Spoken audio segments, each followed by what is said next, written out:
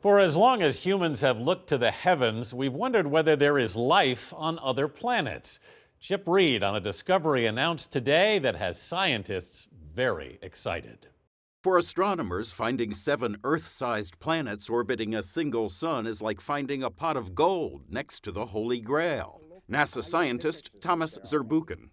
The discovery gives us a hint that finding a second Earth is not just a matter of if, but when.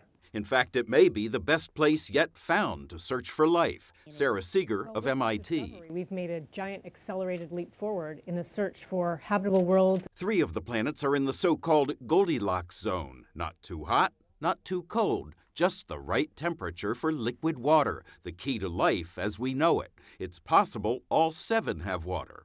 A NASA artist with a vivid imagination thinks this is what the fifth planet could look like its neighbors easily visible and the sun much closer than ours. Fortunately, it's also much smaller and cooler, which keeps the planets from getting fried.